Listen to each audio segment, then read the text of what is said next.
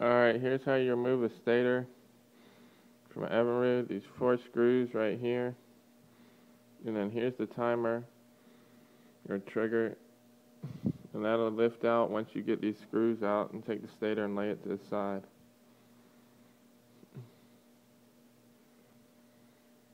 Here's what the trigger looks like, time timer looks like. Take this off. Connect this wire right here. And this wire right here.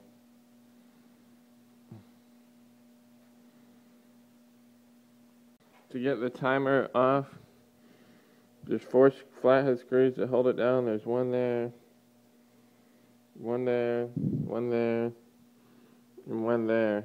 And it should lift off, but make sure you disconnect the big plugs. That one, and that one. I just laid the stator off to the side because I don't need to mess with that. That's a brand new CDI stator.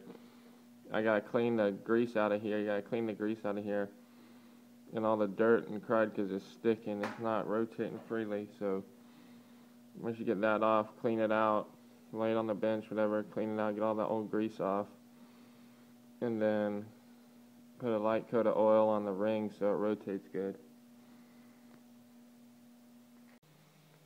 You can see all the crud in here. Old grease, probably goo from the old stator, dirt. That's why it wasn't rotating freely. And it sits in this ring, it rotates, and there's just gunk all in there. I'm going to clean it all out and put a little bit of two-stroke oil so it rotates. You can see all the gunk, all that crap is why it wouldn't rotate good. So yeah, clean that out.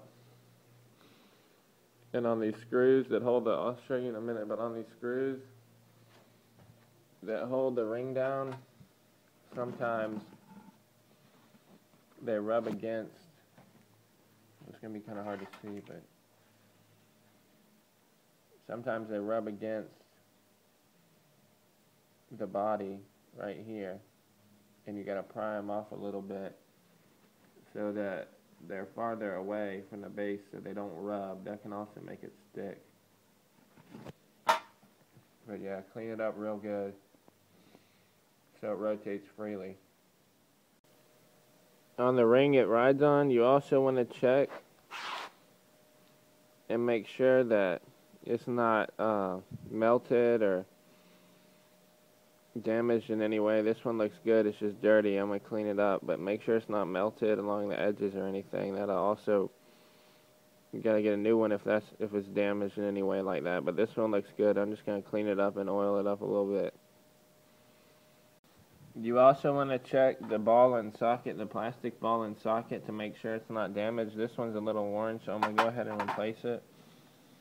I already replaced the other one on the timing tree, but here's the part number for this motor. Of course, look up your part for your motor, but uh, this one's a little bit stretched right here. It's a little bit, um, it's a little bit worn. Let's go ahead and replace it. Yeah, it goes right in there. Those are a pain to get in and get out. You gotta twist them in and twist them out, but just be careful, don't break it. You might want to get two in case because if that breaks, you got to get a whole nother one. So you might as well order two so you have an extra. When you put these screws back in here, make sure you get in here with some rubbing alcohol or some type of solvent and run it down in the hole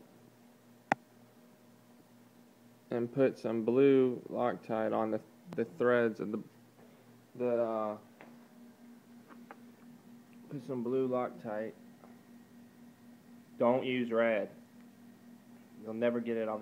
Just use blue Loctite and clean the the screws up and uh,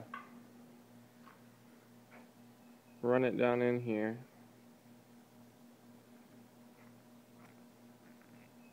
And then back it out and then run the dry side in there, and then blow it out with compressed air. And uh, you don't want those screws to vibrate out, so use blue Loctite. Okay, this is how you reinstall stator on a V4 or V6 Evinrude. Might be for other models too, I don't know, but make sure you put blue Loctite on the threads right here on the stator bolts so they don't come out and contact the flywheel if they get loose. And torque them to 120 to 144 inch pounds, not foot pounds. Come over here and make sure nothing is going to chafe, no wires are going to chafe on the timer and make sure that these rings, before you put the stator back on, make sure that these rings put firm pressure down on the plastic ring, but do not, the lips of them cannot contact the timer, the timer, or else it'll wear it and it'll stick and you'll have a mess.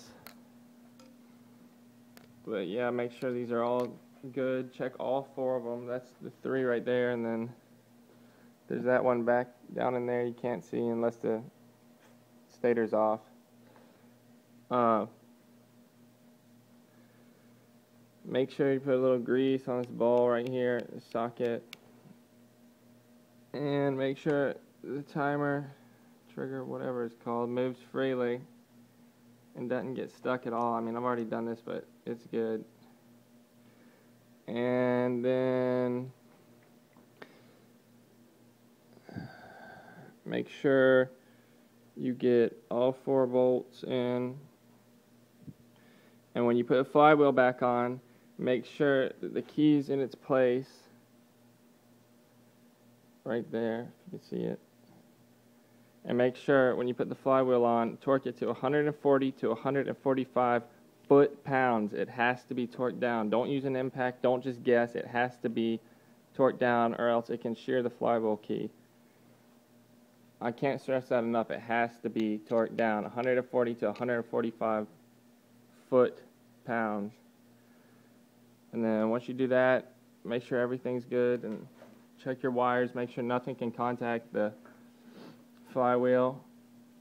You should be good.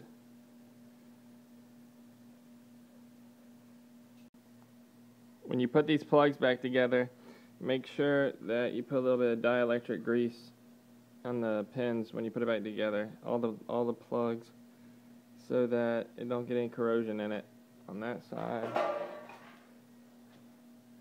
And then in here, and make sure they're clipped down so they don't contact the flywheel, especially these little ones.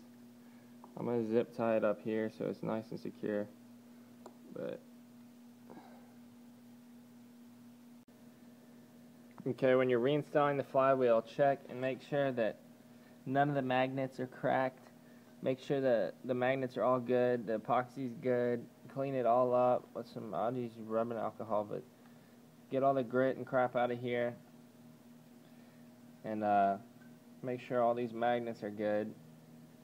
And when you put the flywheel back down on the motor, make sure everything is good and everything lines up and everything's smooth and nothing's rubbing before you torque it down. Nothing's rubbing on the stator before you torque, torque it down.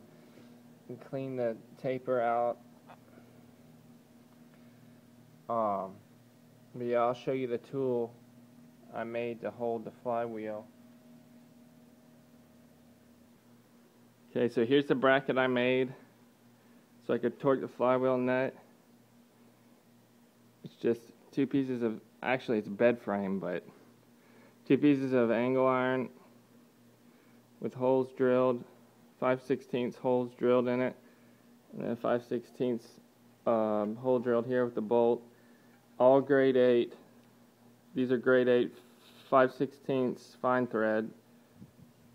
These two are, because they have to be to screw into the flywheel. It might be different for your motor if it's not the same. This is a 86 Evinrude 150 and then I just welded this bar on it so I can get some extra leverage on there.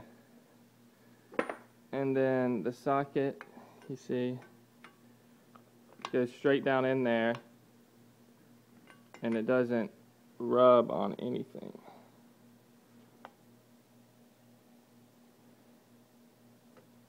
Well, when it's straight in there. But yeah, I got to get a helper to help hold it so I can torque it. I already got it to like 140, but I just want to double check. And you see, torque wrench goes on here. Someone holds that. Torque wrench, well, someone else holding it. It would go on like that. And the torque spec for this is 140 to 145 foot foot pounds. When you put the flywheel down on here, make sure the key lines up and look down in the key slot is there, but you can't see it now it's covered by the nut, but make sure it's all lined up and in its spot. I mean, it won't go down all the way unless it is, but make sure it's in its spot. And then torque your nut and you should be good to go. So yeah, that's my bracket right there. I mean, you could just, you could weld that right there, but I just put a, a bolt in there because I have other outboards that might fit in the future if I need to take a flywheel off. But yeah, make sure you get grade 8 bolts. Those are inch long grade 8 bolts. and tighten those down. Make sure that everything's snug, but don't get them too tight. You don't want to rip the threads out. That would not be good. Yeah, here's my flywheel torquing apparatus.